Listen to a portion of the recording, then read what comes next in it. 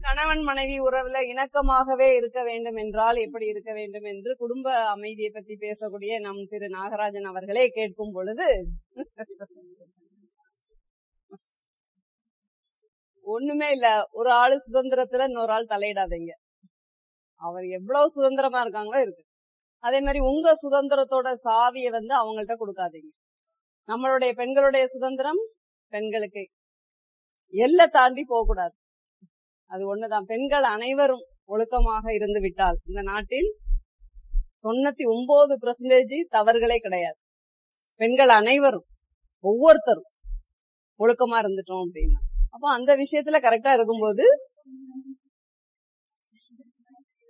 மைக்கே தேவையில்லைண்ணா இப்ப என்ன ஆகும் அப்படின்னா வெளியில நம்மளை பத்தி ஏதோ பேசுறாங்க. பத்து மணிக்கு போற போறோம். நம்மளை பத்தி பக்கத்து வீட்டுக்காரங்க ஏதோ பேசுறாங்க அப்படின்னா இப்ப நம்ம அதுக்கு என்ன செய்யணும்? ஒன்பது மணிக்கே போகணுமா? என்ன செய்யணும்? அப்படிலாம் இருக்கக்கூடாது. அது தப்பு. அவங்க பேசுறது உண்மையாட்ட ஆக்கப்படாது. எப்படின்னு தவறா தானே பேசுவாங்க. அதுல உண்மை இருக்கக்கூடாது. தவறா பேசக்கூடிய விஷயத்த நம்ம உண்மை ஆக்கிடக்கூடாது அந்த ஒரு ஒழுக்கமும் இருந்துகிட்டு நம்ம எங்க வேணாலும் நிமிர்ந்து போகலாம். எட்டு மணிக்கு மேல நமக்கு மின் பக்கம் மட்டும் கண்கள் இருக்கக்கூடாது. சுத்தி இருக்கணும். நம்மள ஃபாலோ பண்றாங்க யாரோ அப்படின்னு ஒரு ஃபீலிங் வந்துன்னா என்ன பண்ணணும்? அவங்கள முன்ன நடக்க விட்டணும். ஸ்லோவாய் நின்னுட்டு அவங்கள முன்ன நடக்க விட்டுறணும் இதெல்லாம் சைக்காலஜிக்கா பெண்களுக்கு வந்து ஒரு அசாத்திய தைரியம் வேணும். நமக்கு இப்ப இருக்கிறது என்னது? திமிரு. திமிர் நிறைய இருக்கு. மாமியாருக்கு பயப்பட கிடையாது நாத்தனாருக்கு பயப்பட கிடையாது மாப்பிள்ளைக்கு பயப்படது கிடையாது. பொடி பாச்சா பள்ளி அதெல்லாம் ஆக்சுவலா பாத்தீங்கன்னா அருவருப்பு. மேல ஏறினா ஒரு மாதிரி இருக்கும். அது என்ன கடிச்சு தின்றுமா? ஒண்ணும் செய்யாது. அடுப்புல பண்ணில இருந்து மாடு வர மிதக்கும்.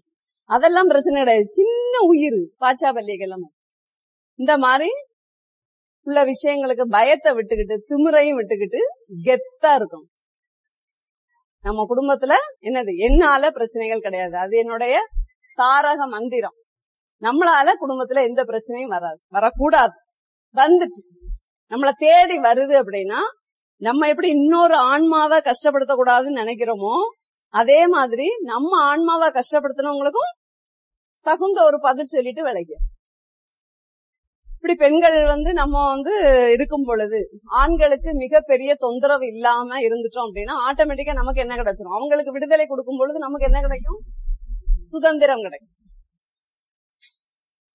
முழு நம்பிக்கையை முதல்ல வீட்டுல உள்ளவங்களுக்கு கொடுத்துடணும் அதுக்கப்புறம் ஆட்டோமேட்டிக்கா சுதந்திரத்தை நம்மளே எடுத்துக்கிடணும். மத்தவங்களுக்கு கொடுக்கக்கூடியது விடுதலை. அப்புறம் கணவன் மீதோ மனைவி மீதோ ஒரு டவுட் வரும். சந்தேகம். ரொம்ப பெரிய பெரிய கணவன் மனைவிக்குள்ள பிரச்சனை வருது என்னன்னா சந்தேகம். சந்தேகம்னா அதை வந்து நிவர்த்தி பண்ணிடணும். எஸ் ஆர் நோ எஸ்ன்னா அதுக்குள்ள வழிய பார்க்கணும். நோன்னா விட்டுறணும். இந்த சந்தேகம் வந்து மிகப்பெரிய பிரச்சனையை கொடுக்கும். அது அதுக்கப்புறம் வந்து கம்பாரிசன் இன்னொரு குடும்பத்தை கம்பேர் பண்ணவே செய்யாதீங்க. நம்மள்ட்ட என்ன இருக்குதோ அதுல ஃபுல் சாட்டிஸ்பாக்சன் எவ்வளவா இருக்கட்டும். மாதாந்திர வருமானம் எவ்வளவோ இருக்கட்டும். இல்ல டெய்லி செலவுகள் என்ன வேணாலும் இருக்கட்டும். இன்னொரு குடும்பத்தை கம்பேர் பண்ணாம வாழ்ந்தாலே கணவன் மனைவிக்குள்ள நல்லா இருக்கும் கம்பேர் பண்ணி பிடிக்கிறது சொல்றது ஆண்களுக்கு பிடிக்காத ஒரு விஷயம். அப்புறம் சமையல்ல குறை. அது ஒரு விஷயம் நல்லா புரிஞ்சுக்கோங்க. டெய்லி ஒரே ஹோட்டல்ல நம்மளால சாப்பிட முடியுமா? இன்னைக்கு சமைச்ச ஆள்கிட்ட வந்து பத்து நாள். இதே சமையல் போட்டா நமக்கு பிடிக்குமா? நம்ம குறை சொல்லுவோம் இல்லையா?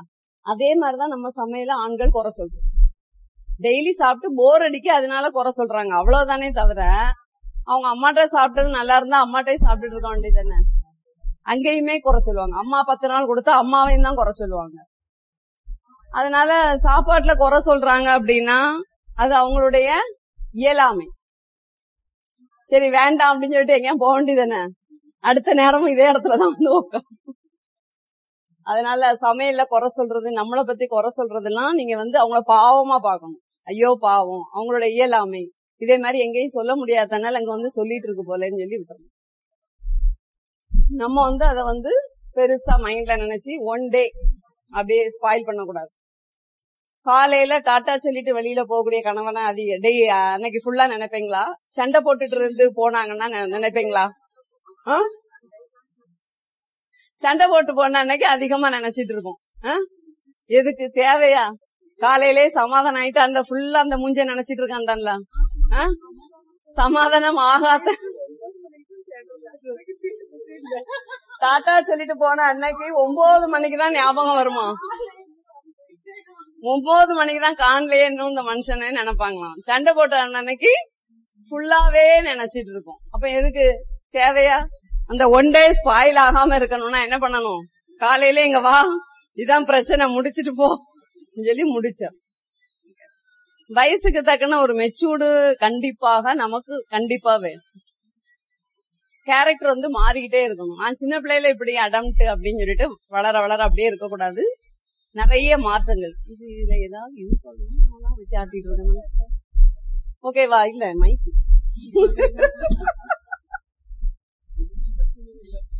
இதுவா எனக்கு சவுண்ட் கொடுக்குதுன்னு நிறைய பேர் நினைச்சிட்டு இருக்கீங்க. இல்ல என் சவுண்ட் தான் இவ்வளவு. ஓகேவா கெத்தா இருங்க. ஹாப்பியா இருங்க.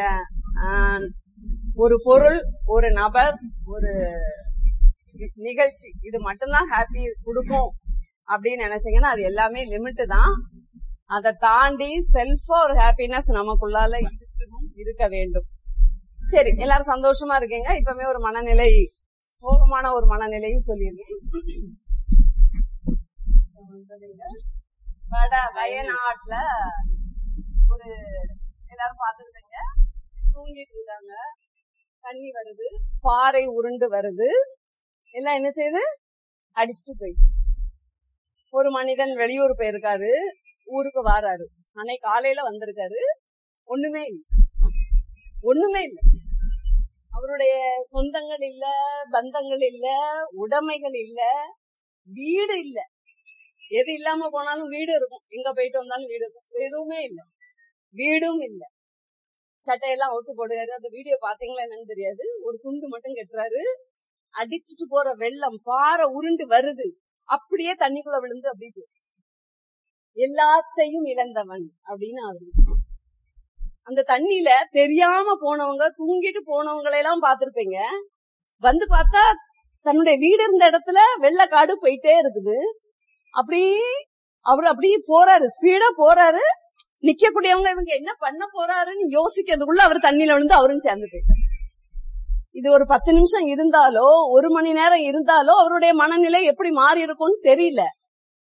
ஒரே செகண்ட்ல அவர் முடிவெடுத்து அப்படியே அந்த ஆத்தோடி போயிருக்காரு அப்போ என்னது? அவருடைய மனநிலை பாருங்க. இதுதான் நமக்கும். நம்ம ஃபேமிலி தான் நமக்கு என்னது? ரொம்ப ரொம்ப பெரிய தூண். நம்மளுடைய மனைவி வாழ்க்கை துணை குழந்தைங்க குடும்பம் எல்லாமே சேர்ந்துதான் நம்ம. எத்தனை நாள்? பத்து நாள் வெளியூர் போறீங்க. எப்பண்டா? வீட்டுக்கு போகணும்னு தானே இருக்கும். அப்போ அந்த தூண்ல வந்து குறை சொல்றது இது எங்கேயாவது ஓடிடலாமாங்கிற மனநிலை எங்கேயும் போக முடியாது. ஒண்ணும் இல்லாம அந்த ஆளு ஜாலியா வாழ்ந்திருக்கலாமே. எல்லாம் போயிட்டு இந்த ஆளு என்ன எங்க வேணாலும் போயிருக்கலாமே? இல்ல. உடம்புல அவர் யோசிக்கிறதுக்கு ஒண்ணுமே இல்ல. தெரியாம வந்து தண்ணியில அடிச்சுட்டு போறவங்கள எப்படி தத்தளிப்பாங்க? அவர் அப்படியே போய் அப்படியே முங்கி அப்படியே போறாரு. இப்போ முந்தா நாள் தான் பாத்தீங்க எல்லாத்தையும் இழந்தவன் அப்படின்னு போட்டிருந்தாங்க. அப்ப நமக்கு இருக்கிறது அந்த குடும்பத்தை நம்மளால எவ்வளவு ஹாப்பியா கொண்டு போக முடியுமோ கொண்டு போகணும். குறைகள் கண்டிப்பாக இருக்கும். நிறைவான மனிதர் நம்மள்ட்ட எவ்வளவு குறை இருக்கும் அதனால இருக்கக்கூடிய அந்த குறைய ஓகே இது என்னுடைய நான் வாழ்றதுக்கு இந்த இந்த ஆன்மாக்கு இந்த இந்த பிறவிக்கு இந்த உறவுகள் தான். இத நான் என்ன பண்ணக்கூடாது? இழந்துடக்கூடாது. இத நான் என்ன செய்யக்கூடாது? குறை சொல்லக்கூடாது. ரொம்ப முடியாத உறவுகள் இருக்கும். ரொம்ப கஷ்டப்படுத்தக்கூடிய உறவுகள் இருக்கும். அதுல இருந்து இப்போ உள்ள பெண்கள்லாம் ஆட்டோமேட்டிக்காவே என்ன பண்ணுவாங்க? வெளியில வருவாங்க ஆண்களும் வெளியில போயிருவாங்க. அதையுமே அட்ஜஸ்ட் பண்ணி வாழக்கூடியவங்களும் இருக்காங்க. அதனால குடும்ப உறவு ரொம்ப ரொம்ப முக்கியம். அதுல மேக்சிமம் நம்மளால எந்த பிரச்சனையும் வராம கொண்டு போலாம். வேற ஏதாவது கேள்வி இருந்தா தாராளமாக கேட்கலாம்.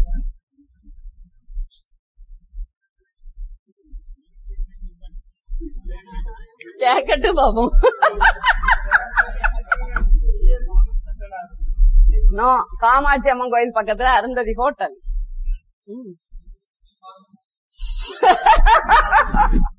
அடிக்கடி கிச்சனுக்கு லீவ் விட்டுருங்க அடிக்கடி மாசத்துக்கு ஒரு ரெண்டு தடவையாவது கிச்சன் பக்கம் போகாதீங்க வாழ்க்கையை ரொட்டீனா ஒரே மாதிரி கொண்டு போகாதீங்க முடியலைன்னா முடியலைன்னு சொல்லுங்க கஷ்டப்பட்டு சமைச்சீங்கன்னா அந்த உணவு வந்து உறவுகளுக்கு டைஜஷன் ஆகாது யாரு?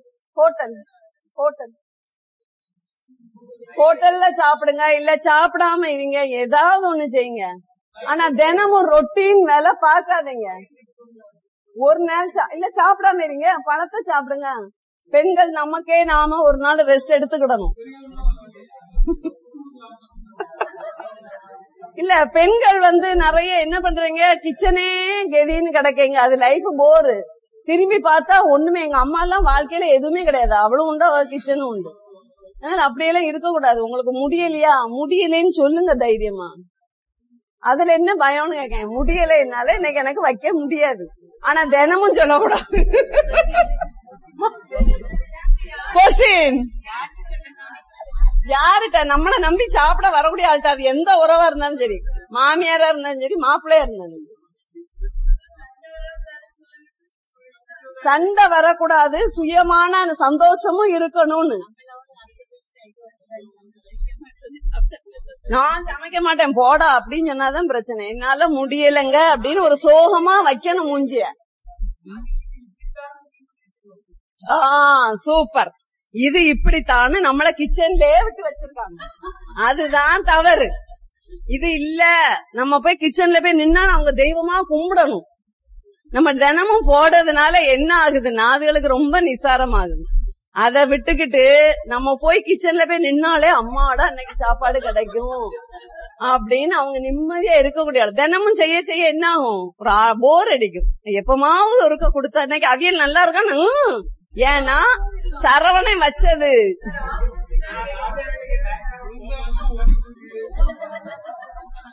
நான் வந்து ஹாப்பியா வாழ்றதுக்குள்ள விஷயங்கள் தான் நான் சொல்லுவேன்.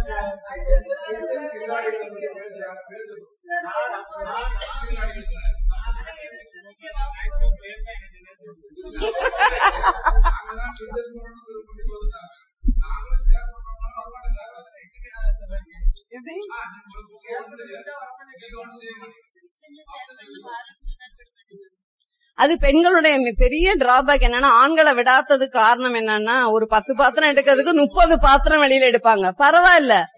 பாத்திரங்களை தயவு செய்து பூசதுக்கு இது பண்ணாதீங்க. பாத்திரம் பூசிக்கோங்க. அவங்க சமைச்சாதான் தெரியும் அவங்க லட்சணம்.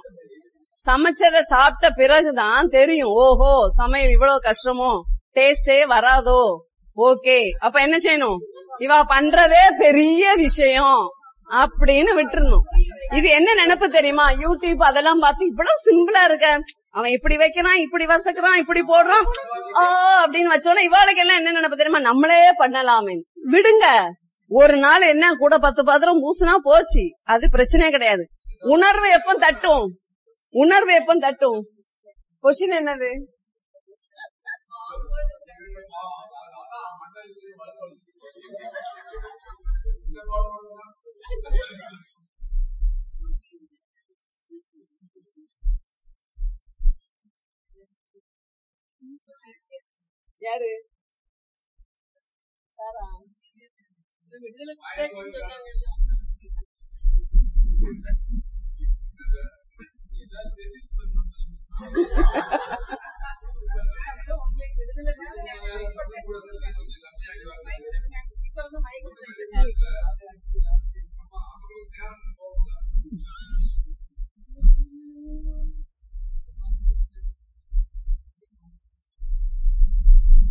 அடிக்கடி ஒரு குரூப்பா சேர்ந்து வெளியில போங்க. ஒரு நாலு பேர் நல்ல உங்களுக்கு உங்க சோலுக்கு செட் ஆகுது மாதிரி. எனக்கு யாருமே செட் ஆக மாட்டாங்க. நான் ஓப்பனா சொல்றேன். எனக்கு யாரும் செட் ஆக மாட்டாங்க. அதனால நான் என்ன- நான் தனியா போவேன். நான் தனியா போவேன். கோயிலுக்குனாலும் சரி கடற்கரைக்குனாலும் சரி தனியா போவேன். சூப்பர் அப்ப என்ன ஆகும்னா உங்களுக்கு யார் போனா இவங்க கூட போனா நமக்கு ஒரு சிலவங்க ரொம்ப ஒரு ஒரு மாதிரி முள்ளு குத்துற மாதிரிலாம் பேசுவாங்க. சிலவங்க கூட போனா நம்ம நிறைய அட்ஜஸ்ட் பண்ண வேண்டியது இருக்கும். அப்படின்னா என்ன பண்ணணும்னா தனியாவே போலாம். இல்ல நல்ல ஜாலியா இருக்கும் அப்படின்னா ஒரு நாலு பேர் சேர்ந்துக்கோங்க. ஏதோ ஒரு இடம். இந்த வெள்ளி செவ்வாதான் கோயிலுக்கு போகணும். அந்த டாபிக் எல்லாம் விட்டுருங்க. சும்மா ஒரு கோயிலுக்கோ ஒரு கடற்கரை பக்கமோ இல்ல ஒரு நாலு பேர் சேர்ந்து ஏதோ ஒண்ணு எங்கேயோ ஒரு துணி எடுக்கவோ ஏதோ ஒண்ணு இந்த மைண்டுக்கு நமக்கு தேவைப்படுது. ஆன்மீகம் தான் இறைநிலை தான் எல்லாம் உணர்ந்தாச்சு. என்ன செய்ய போறீங்க அடுத்தது? பிறவிய கழிக்கணும்ல? இறைநிலையே உணர்ந்தாலும் அடுத்தது என்னது? சாப்பாடு அடுத்த நார்மல் லைஃபுக்கு வந்துதான் ஆகணும். அதை எப்படி வாழணுங்கிறது தான் இப்போ மேட்ரு பெரிய அளவுல பணம் சேர்த்து சார் சொன்னது மாதிரி எல்லாம் வாங்கி எடுத்து என்ன செய்ய போறோம்? லைஃப் லைஃப் நம்ம திரும்பி பார்த்தா நம்ம லைஃப் எங்க இருக்கு அப்படின்னு பாத்தீங்கன்னா ஹாப்பினஸ்ல தான் இருக்கு. அந்த ஹாப்பினஸ் எப்படி இருந்து? சந்தோஷமா இருக்கீங்களா? நான் என்னென்ன பண்ணினேன்? இந்தந்த இடத்துக்கு போனேன்? அதை ஜாலியா என்ஜாய் பண்ணினேன். அந்த ஜாலி ஒரு ஆளுக்கு மாறுபடும்.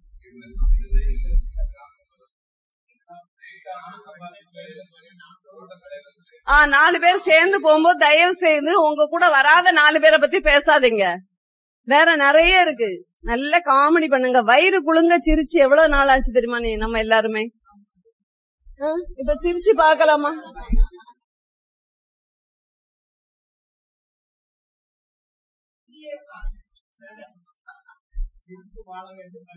சிரிங்க கொஞ்சம். எவ்வளவு இப்ப சாப்பிட்ட சாப்பாடு செமிக்கணும்னா நல்லா சிரிச்சா போதும்.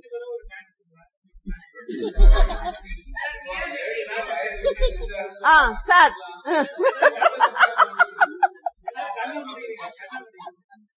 கண்ண முன்னா சிரிப்பு வருமா? தூக்கம் வந்துடாது நல்ல வயிறு குழுங்க ஏதாவது ஒரு காமெடி சிம்பிளா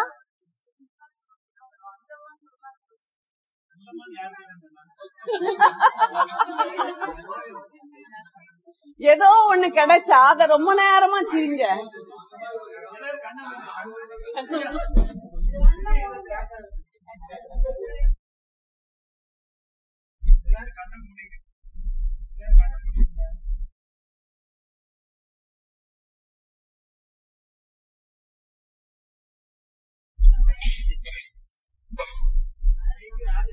சிரிக்கும் போது சவுண்ட் கேட்கும் டென்ல இருந்து ஒன் வரைக்கும் என்றேன்.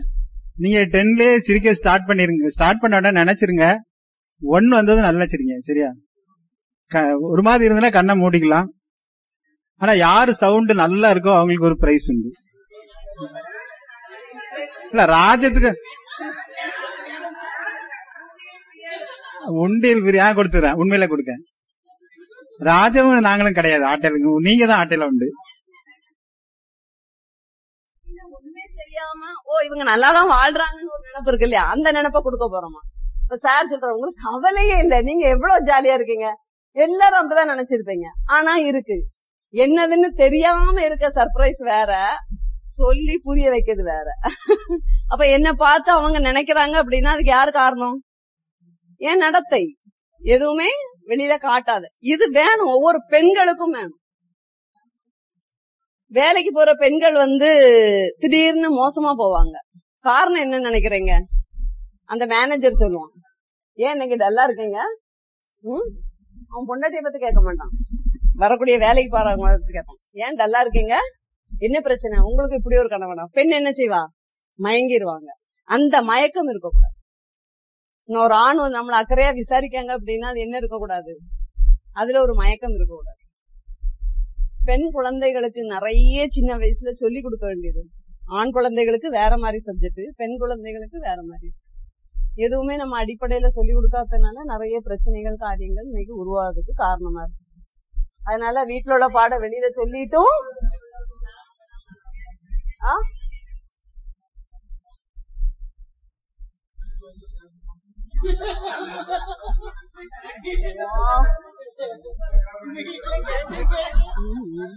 போயா சேர்ந்துட்டு போட்டு கேட்டுட்டு இருக்காரு.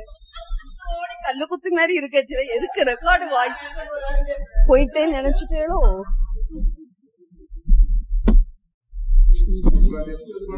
ஆன்லைன்ல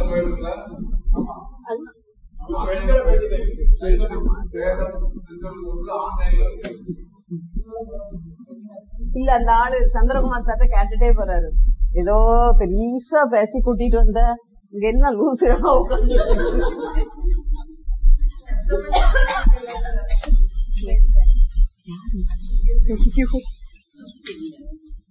இவர்தான் கேட்டதாட்டு சொன்னேன்.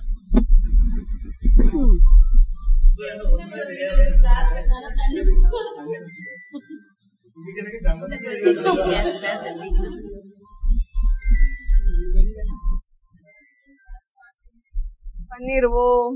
யார் வந்தாலும் லீவ்ல எடுப்போம். வீட்டுக்கு வருவாங்க. கணபதிபுரத்துல இருந்து மெனக்கிட்டு பத்து இருபது பிள்ளைகளை கூட்டிட்டு ராஜேஸ்வரி காலையில பஸ்ல வருவாங்க. அவங்களுடைய மிகப்பெரிய தொண்டு வந்து அவங்களுடையது. என்னம்மா?